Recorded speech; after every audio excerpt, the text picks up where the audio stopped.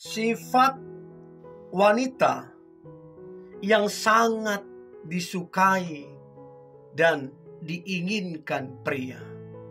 Jadi teman-teman cewek, ada beberapa sifat wanita yang betul-betul keinginan, kerinduan, bahkan impian laki-laki bisa memiliki pasangan hidup yang memiliki sifat demikian.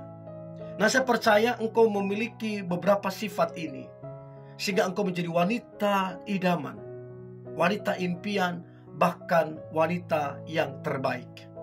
So, ada lima sifat wanita yang sangat disukai dan diinginkan pria. Yang pertama, penyayang.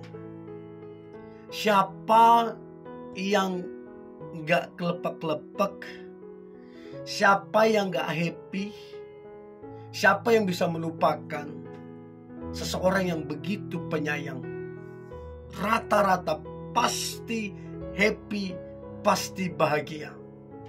Dan teman-teman cewek, kalau kamu memiliki sifat penyayang, tidak terkejut. Kamu itu banyak sekali teman. Kamu itu banyak sekali keluarga-keluarga baru karena mereka senang denganmu. Mereka bahagia denganmu.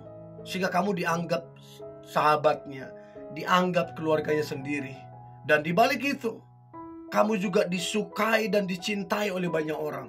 Karena kamu pribadinya penyayang. Itu yang pertama. Yang kedua, ramah ataupun friendly. Jadi kamu wanita yang ramah, senang tersenyum, senang menyapa orang terlebih dahulu, senang memberikan kata-kata semangat, kata-kata motivasi ke orang lain. Dan kamu gak gampang marah, gak gampang kecewa, gak gampang dendam, dan lain-lain. Betul-betul kamu ramah banget. Sehingga gak terkejut banyak orang begitu merindukanmu. Kangen sama kamu. Karena apa? Keramahanmu itu menyentuh hati. Dan ini yang membuat pria itu begitu tertarik, begitu menyukaimu, bahkan tergila-gila terhadap dirimu. Karena kamu penyayang, kamu juga ramah pribadinya. Itu keren banget, keren banget. Itu yang kedua. Yang ketiga, sifat wanita yang sangat disukai dan diinginkan pria. Maka yang ketiga adalah mandiri. Siapa sih Orang yang gak senang memiliki pasangan yang mandiri. Rata-rata orang senang kalau pasangannya itu mandiri. Karena kalau nggak mandiri, ngerepotin, nyusahin. Bayangin untuk hal yang kecil, itu aja mesti ngerepotin. Mesti minta tolong, kan itu repot. Karena apa? Nggak mandiri.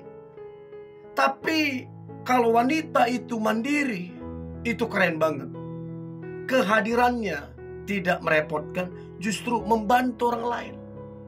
Kehadirannya tidak menambah beban, justru kehadirannya memberikan solusi.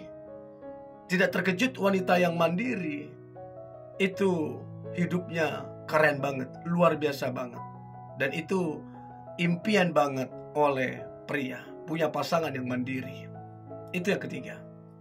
Yang keempat, optimis. Jadi wanita yang optimis, berpikir positif dan bertindak positif. Ini wanita yang begitu keren, begitu luar biasa. Sehingga kata-katanya adalah kata-kata yang positif, kata-kata yang membangun. Dan orang-orang di sekitarnya terkagum-kagum, terpukau. Dan engkau begitu diidamkan. Dan tidak terkejut teman-teman cewek kalau kamu itu banyak dicintai oleh orang lain, banyak menyukaimu, bahkan banyak orang menginginkan engkau jadi pasangan hidupnya. Karena apa? Kamu penyayang iya, ramah iya, mandiri iya, optimis lagi. Itu kan keren banget. Jadi coba perhatikan teman-teman cewek, apakah kamu orang yang optimis atau gimana? Oke, itu yang keempat.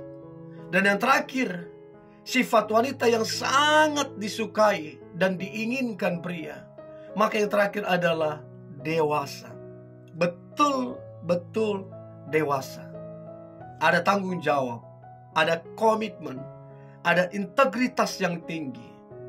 Cara pandang yang benar, respon yang benar terhadap apa pun.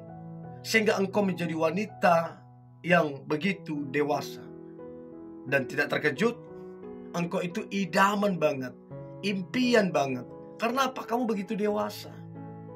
Dan kalau kamu disukai, dicintai oleh pria, bahkan tergila-gila padamu, saya kira karena kamu memiliki beberapa sifat ini.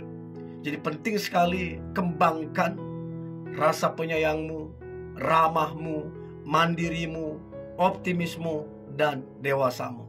Maka percayalah, engkau akan menjadi wanita yang terbaik, diimpikan, bahkan diidamkan oleh banyak orang.